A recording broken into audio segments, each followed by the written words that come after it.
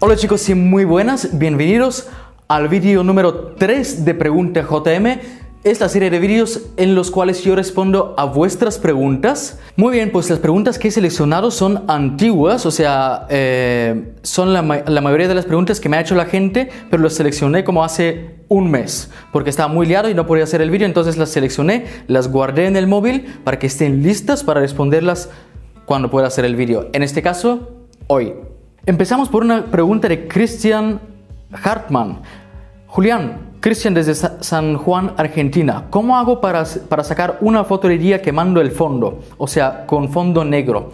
Bueno, para hacer esto hay dos formas de hacerlo o puedes combinar ambas formas. Primero tienes que cerrar el diafragma de todo y segundo tienes que aumentar la velocidad uh, de obturación y bajar la ISO. Haciendo esto vas a oscurecer bastante, es muy probable que te salga exactamente lo que tú quieres, pero también es posible que, que haya bastante luz y que no llegue a, a, ser negro de todo.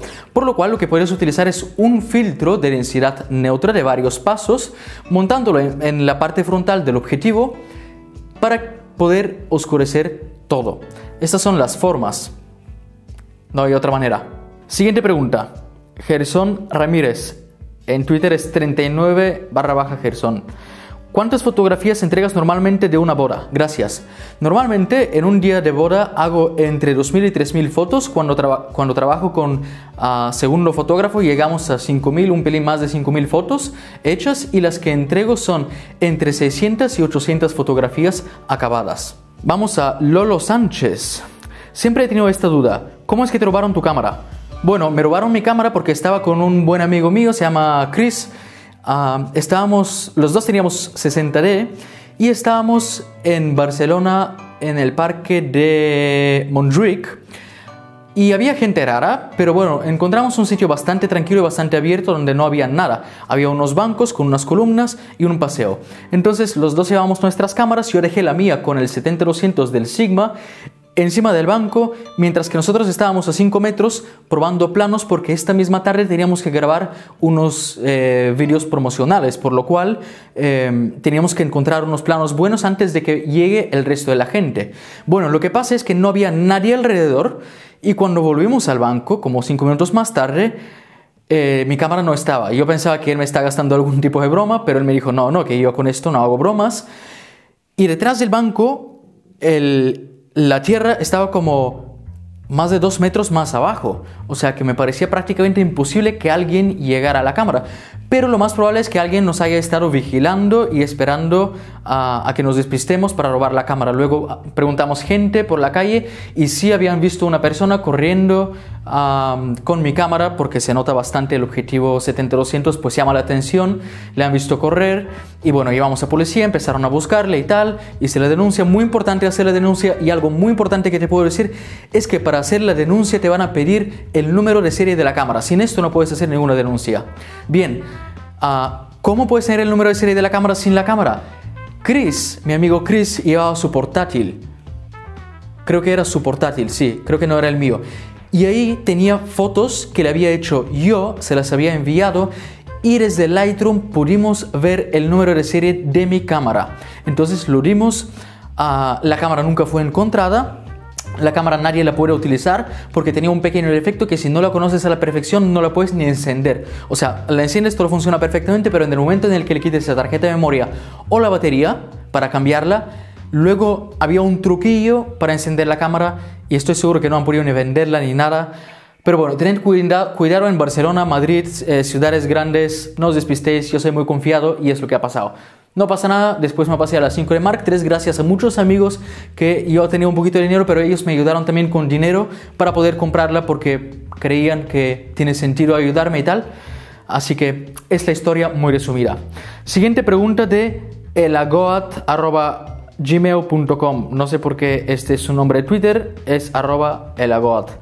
Soy Eduardo de Sevilla y niconista de toda la vida. ¿Podríamos comentar lo de tu reto de Nikonista por un año?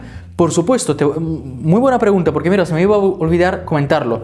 Mi principal idea es contactar con Nikon y pedirles que eh, me envíen una cámara y dos objetivos totalmente gratis, ah, porque de esta forma yo podré mostrar a la gente cómo utilizar cámaras Nikon y podré dar mi opinión bastante más extensa sobre Nikon. Pero aparte de esto, para que sea más interesante, esta cámara la quiero para este año y cuando acabe el año se la quiero regalar a una persona aleatoria de entre todos mis seguidores. ¿De acuerdo? Porque yo no quiero una cámara, no quiero aprovecharme ni de Nikon, ni tampoco de nadie, ni de, ni de la excusa de que la voy a utilizar para enseñar a la gente para quedármela yo. Entonces, para demostrar esto después de este año, si realmente consigo la cámara, ah, les he llamado, por cierto, eh, tengo que escribir un correo a una persona que me tiene que contestar si se puede hacer o no se puede hacer. Bueno, si no se puede hacer, buscaré otra forma, pero os mantendré al tanto. Ya sé que estoy tardando bastante, pero bueno, estoy con mil cosas, lo tengo muy presente y mi idea es esta. Así que gracias por tu pregunta. Eduardo, vamos a la siguiente. Buenas tardes, Julián. ¿Qué tarjeta de memoria me recomiendas? Eh, ya tengo tres y me dan muchos problemas PC y en Canon 60D. Pues muchos problemas es muy relativo. Se abren, se rompen, ah, se borran, no se pueden leer, no se, pueden, no se puede escribir, pues no sé a lo que te refieres. Pero en general las tarjetas que uso yo son de Sony o de SanDisk. Son las tarjetas que suelo tener de SD y si se trata de CF, que no es tu caso porque usas la 60D, pues uso una CF de la marca NOS, me parece que son súper baratas. Me he comprado por como 60-70 euros, me he comprado 128 gigas y estoy grabando con esta ahora mismo. Así que es cuestión de suerte, me parece muy raro que se te estropeen, no compres lo más barato ah, en el caso de SD porque son mucho más frágiles que una CF. Bien, siguiente pregunta de Juan B. Twitter Lucian JB. Hola Julián, ¿cómo ganan dinero los fotógrafos de calle o street photography? Photography eh, se, se escribe con PH en vez de F al final. ¿Cómo ganan dinero? Pues mira, no lo sé porque no, no, soy un fotógrafo de ese tipo, pero me imagino que lo que hacen es publicar libros o hacer exposiciones y vender sus fotos a través de esas exposiciones o a través de internet. Esta es la, la, única vía que se me ocurre de cómo hacer dinero a través de esto. Proyectos que pueden hacer, por ejemplo, digamos que si vivo en Sevilla, bueno, pues hago una campaña de crowdfunding para que la gente me, dé dinero para que yo pueda realizar un proyecto excepcional, muy interesante sobre las calles de Sevilla, por decir algo, ¿no? Eh, bueno, lógicamente cuando haces un proyecto de crowdfunding no es para que ganes dinero tú, es para que puedas realizar un trabajo, pero después de este trabajo pues igual puedes hacer una exposición, puedes vender las fotos o lo que sea. Entonces, me imagino que es de esta forma, no te lo puedo asegurar, pero lo mejor que puedes hacer es preguntar a un fotógrafo que se dedique a esto. Vamos a la siguiente pregunta. Ernesto González, Twitter Mr. Nesgeek. Estoy por comprar mi primera cámara. ¿Qué sería mejor? ¿Comprar el kit con un 1855 o comprar solo el cuerpo y un lente aparte? Bueno, pues si te sale mucho más barato comprar el lente de kit, cómpratelo porque va a ser bastante flexible. No es el mejor objetivo del mundo el 1855, pero te sirve para tener un gran angular. Y después te recomiendo o sea, siempre recomiendo este objetivo 50 mm 1.8 de Canon o de Samyang. Tienes los dos reviews aquí arriba. Elige entre los dos. El de Samyang es el más barato, no tienes excusa, vale muy poco dinero, cómpratelo y eso te va a cambiar la vida. Siguiente pregunta de Rodrigo Jiménez. Twitter Rodrigo barra baja JI. Julián, ¿qué medios usas para llegar a parejas y conseguir un flujo estable de trabajo durante todo el año aparte de redes sociales? Bueno, es una pregunta muy buena. Tengo una pregunta que nadie se le espera.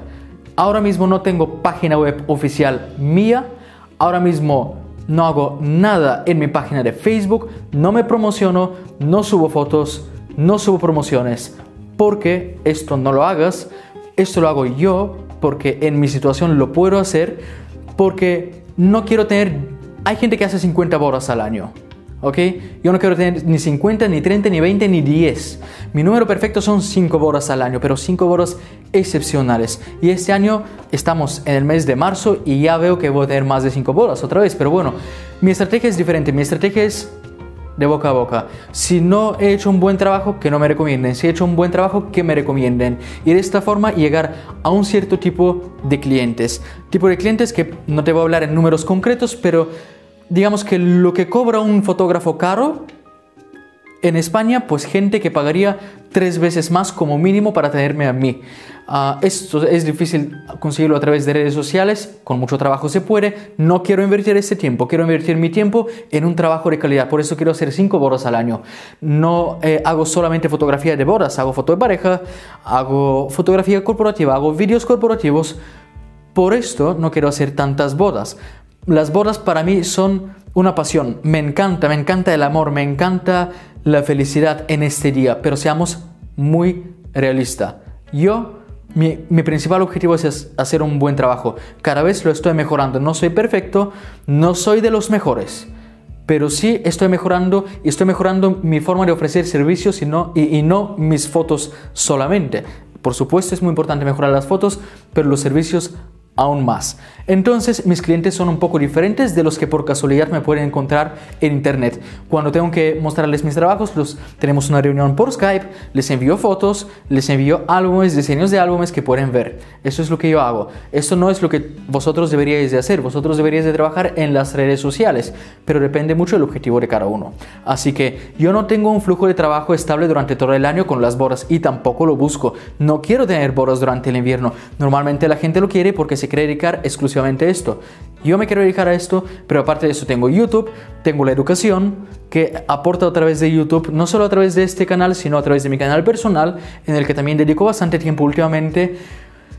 Y digamos que quiero hacer cosas variadas para nunca aburrirme y para, para que cada cosa me ayude a mejorar en otra cosa. Por muy raro que parezca, grabar este vídeo en YouTube me ayuda a ser un mejor fotógrafo de bodas. Hacer fotografía de boda me ayuda a ser mejor en estos vídeos de YouTube. Todo se complementa en mi vida y trabajo mucho para que sea así.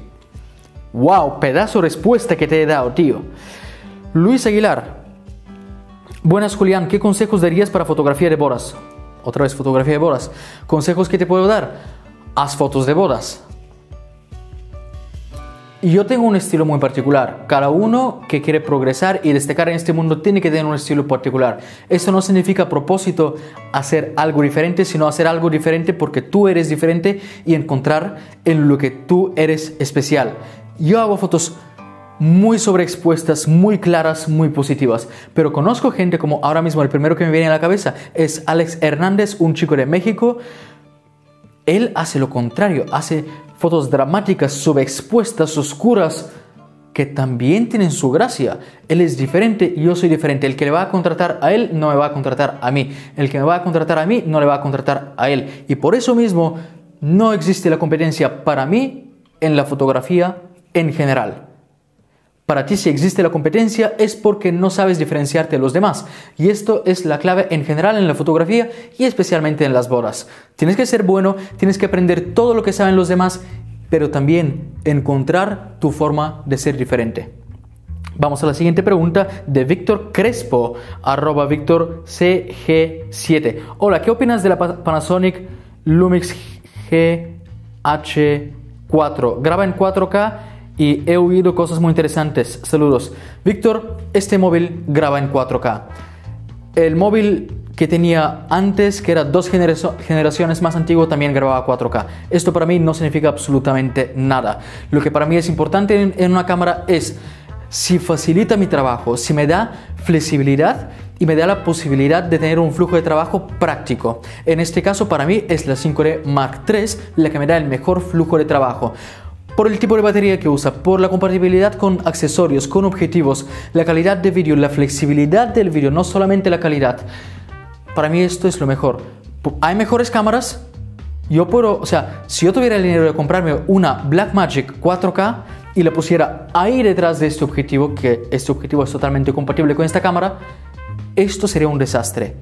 Calidad, todo lo que quieras en vez de 4, 5, 6, 7 vídeos al mes, tendríais dos vídeos y estarían peor que este. Con una Blackmagic. Sí, punto. Es la realidad. O sea, esta cámara no la he probado, no te digo que está mal, te digo en lo que tienes que fijarte, tienes que pensar en cómo trabajas, con quién trabajas. Todos mis compañeros ahora mismo, toda la gente con la que estoy trabajando, no es que tienen Canon, es que tienen Canon 5D Mark III. A veces trabajamos en fotografía, a veces trabajamos en vídeo y muchas veces mezclamos, o sea, vamos tres personas grabando un día. En ese día nosotros podemos poner los mismos ajustes de cámara, usamos la misma cámara, los mismos objetivos, la misma forma de, de grabar, nos ponemos de acuerdo, todo sale consistente, colores, profundidad, flexibilidad, estilo de imagen, todo sale consistente. Eso es lo importante para mí, eso es lo que yo necesito para mi trabajo. Entonces, ¿es buena esta cámara? Seguramente sí. ¿Te va a ayudar a mejorar la calidad de tu trabajo? Esa es la pregunta que debes de hacerte.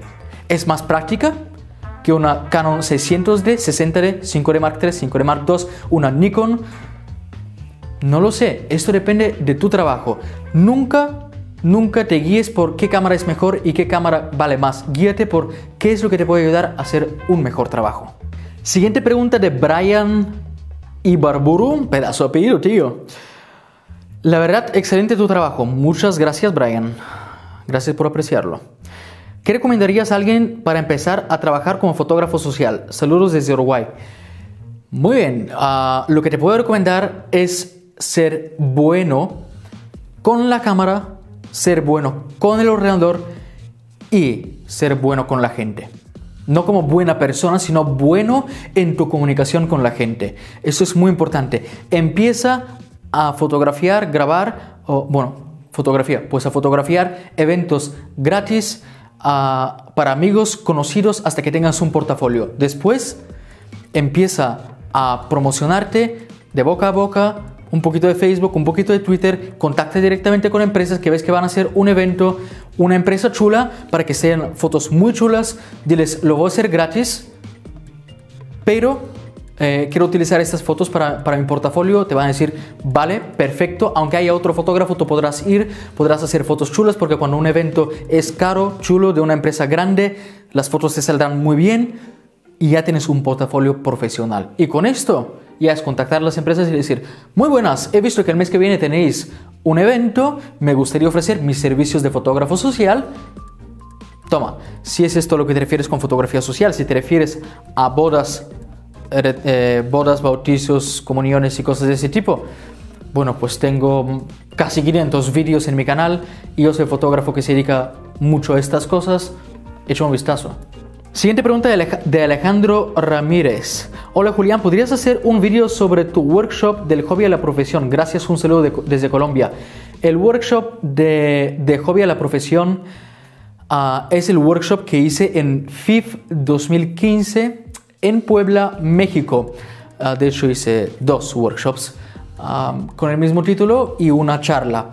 Bien, sí, pero no. Y te voy a decir por qué porque quiero que, o sea, hice uno gratis, hice uno de pago.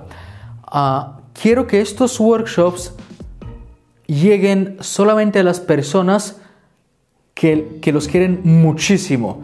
Y no dudes que en el futuro tal vez lo haga en formato de vídeo y lo suba a YouTube, pero no puedo hacerlo ahora porque estoy muy liado.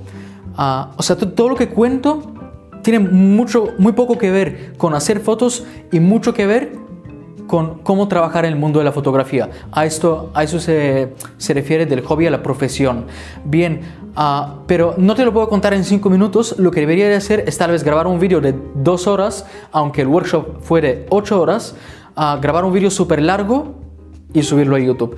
Esto lo haría pero cuando pueda hacerlo bien y por eso no lo he hecho todavía. ¿De acuerdo? Para el FIF 2016, eh, echad un vistazo a la web y a las redes sociales de FIF Puebla, porque van a ser lo mismo. Este año va a ser muy guay. Rodrigo Payalev es un tío de Suiza, muy majo. Estoy ansioso por ver el vídeo de la nueva Nikon D500, Nikon D750 o Nikon D500. ¿Qué recomiendas?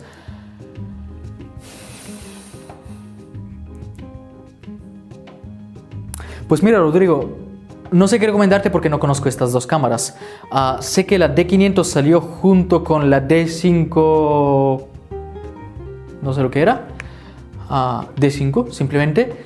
Pero no quise hacer un vídeo sobre esta cámara, no puedo hacer un vídeo para cada cámara porque no quiero meterme tanto como para investigar cada cámara por separado y tampoco me gusta mucho hacer previews, porque el preview es hablar sobre una cámara, un objetivo o algún tipo de material que no has probado. Podemos hablar sobre las características y podemos tener unas ciertas conclusiones en base a estas características. Sin embargo, yo no me siento cómodo hablar de algo sin haberlo probado. Te voy a dar un ejemplo. Esta mochila me la, han enviado gratis. Esta mochila no la has visto en un vídeo y la tengo desde hace más de un mes. ¿Por qué no la has visto en un vídeo todavía? Porque la estoy probando. La estoy probando y cuando yo te comparta mi opinión sobre esta mochila o sobre este mini trípode, mi opinión va a ser real 100% y basada en mi experiencia. Por eso no me gusta hacer previews y hablar demasiado de cosas de las que no estoy 100% seguro. Eh, hay páginas web como DP review.com está en inglés, pero ahí puedes comparar cámaras y puedes ver las, diferentes capacidades entre estas dos cámaras y compararlas. ¿De acuerdo? Eso es lo que te puedo recomendar. Lo siento, no te puedo contestar de forma más concreta a la pregunta porque no conozco estas cámaras y tampoco puedo inventarme algo. Vamos a la pregunta de José Antonio Rabadán. ¿Dispara siempre en manual? Entiendo que para captar un paisaje sí, pero en una boda, por ejemplo, ¿qué modo utilizas? Especialmente en las bodas, siempre en manual. El modo manual te permite controlar la exposición y todos los parámetros de, la foto. Te voy a dar un ejemplo muy simple y no voy a profundizar con esto porque, o sea, si no lo entiendes es porque no has visto los vídeos anteriores que he hecho. Por lo cual, te lo cuento muy rápidamente. ¿Qué pasa? A ver, Tecnonauta, review del Galaxy S7. Echate un vistazo al canal de Tecnonauta. Si yo le hago una, foto a una persona que está por aquí y tengo unos, unos ajustes, me doy la vuelta, pongo la persona ahí y le hago la foto con los mismos ajustes, si la iluminación dentro de esta casa es la misma, la, la, persona va a salir con la misma exposición. Si yo estoy en modo TV o AV, o sea, prioridad de apertura o prioridad de, de, de disparo, de disparo no, de obturación, lo que va a pasar es que aquí hay una pared, va a ser una exposición, me doy la vuelta, ahí tengo una ventana y va a ser la foto mucho más oscura, ¿vale? Por lo cual, especialmente en bodas, siempre en manual. Hay muy pocos casos en los que paso a, a modo semiautomático, de hecho no me acuerdo de la última vez que lo hice. Tal vez estamos hablando de años, pero ahora mismo te puedo asegurar de que para mí es más difícil hacer una foto en modo semi-manual, en, semi-automático, que en modo manual. Y en foto automático, o sea, en modo automático, ya es que me siento súper incómodo. Es que no tengo control sobre nada. Veo lo que pasa, disparo y no sé lo que va a salir en la pantalla. Esto a mí no me vale. Y a ti tampoco te tiene que valer. O sea, modo manual es como se hace la fotografía. El resto de los modos a ver, también es verdad, hay casos aislados en los que puede hacer falta algo así, pero son muy, muy, muy pocos. Por lo cual, tienes que conocer bien tu cámara y yo te recomiendo usar el modo manual. Si no, mejor usa el modo automático. Porque con el semiautomático pues puede ser más problemas tal vez. Vamos a la siguiente pregunta. Otra vez de Rodrigo Payalev. O creo que es Payalev. Tío, dime cómo se pronuncia tu nombre. ¿Podrías hablarnos sobre sRGB, RGB espacio de color? Sí lo tengo pendiente, muy resumidamente. sRGB es un espacio de color más reducido. la gente lo suele llamar como el de más baja calidad. Eso es una tontería la gente muchas veces se va a un espacio de color mucho más amplio, de muy alta calidad, suben las fotos a Facebook o en una página web o las imprimen y salen fatal. Julián, ¿por qué mis fotos se ven tan mal en Facebook y las tuyas se ven bien? ¿O por qué yo las veo así en el ordenador y luego en Facebook se ven mal? Porque buscas mucha calidad y al final consigues nada de calidad. Hay que entenderlo. Os recomiendo usar sRGB a la hora de exportar en JPG. Más profundidades en otro vídeo. Nacho Go, un suscriptor muy fiel, le veo muy a menudo. O sea, online, quiero decir. Tras ver varias veces tus tutoriales sobre flashes, no me queda claro cómo depende el diafragma ¿Cómo, ¿Cómo, depende el diafragma en el acabado final de la foto? Pues el diafragma te permite controlar la cantidad de luz que entra en la cámara. Entonces puedes controlar la exposición de tu foto, aunque el flash esté con los mismos ajustes, tú cierras el diafragma y sale más oscura. Sin embargo, si tú aumentas la velocidad, eh, o sea, el, tiempo de, si, disminuyes el tiempo de exposición, el fondo se va a oscurecer, pero la persona que está iluminando con el flash va a salir exactamente igual. Por lo cual, tienes que hacer una mezcla entre todos los ajustes. Prácticamente cuando haces fotografía de flash no de estudios, sino en un ambiente como un evento, por ejemplo, tienes que hacer en una misma foto dos exposiciones. Tienes que pensar en la exposición del flash y la exposición del fondo. Ya está. Piensa en esto y vuelve a ver mis vídeos porque no son muy buenos, porque no era muy bueno explicando en aquel entonces, pero está explicado. Por lo cual, echa un vistazo y, y lo verás. He tenido que encender la luz. Siguiente pregunta. Abraham FG. ¿Cómo fue tu primera cómo fue tu experiencia con tu primera DSLR? ¿Sigue siendo igual ahora? No sé a qué te refieres exactamente a mi experiencia, pero mm, no, no sigue igual. Para mí, mi primera cámara reflex era una máquina en la que yo apretaba el botón y ella hacía las fotos. Ahora mismo, eh, mi cámara es una máquina a a través de la cual yo hago la fotografía. Y la hago, no la tomo. Yo creo la fotografía a través de esta máquina. Es una herramienta ah, que, prácticamente me da de comer. Antes era un juguete que me gustaba, mi primera reflex.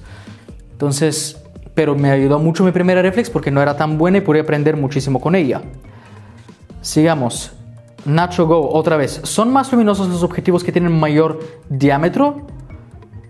Gracias por responder mi pregunta en el, anterior, en el vídeo anterior. Ah, mm, no sé, esto es muy relativo.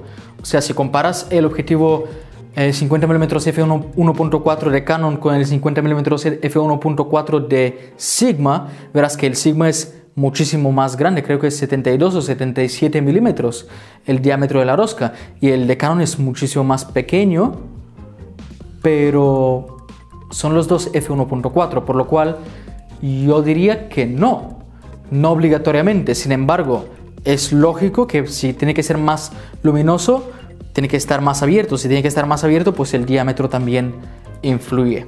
Eso es lo que te puedo decir. JPFAE o no sé cómo se lee este, este Twitter.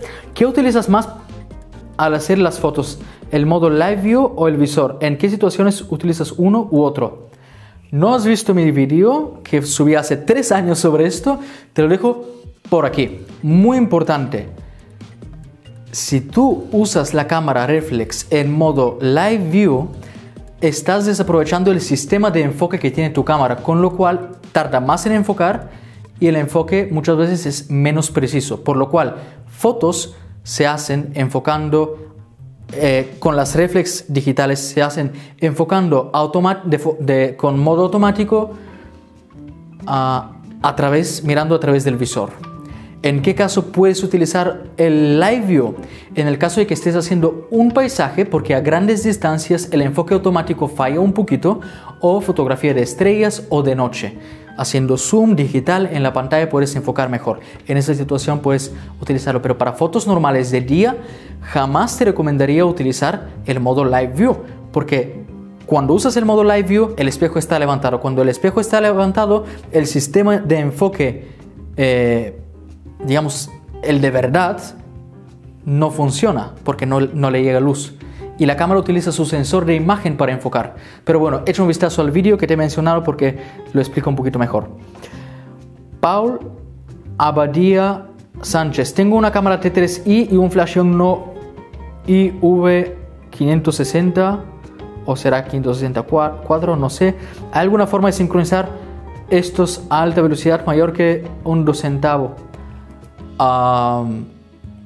esto se puede hacer con flashes TTL que son más caros, por ejemplo los de Canon o Nikon, flashes caros TTL te lo permiten.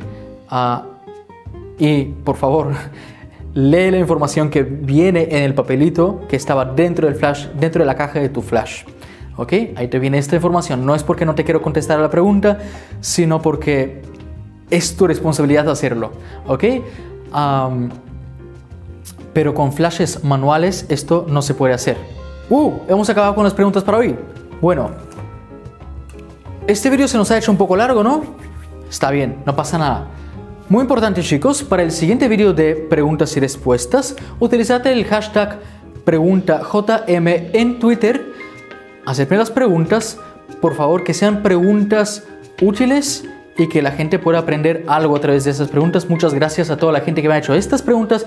Espero que estas respuestas os hayan servido y dentro de muy poco intentaré hacer el vídeo número 4 de Pregunta JM. Nos vemos en el siguiente vídeo chicos y hasta la próxima. Chao.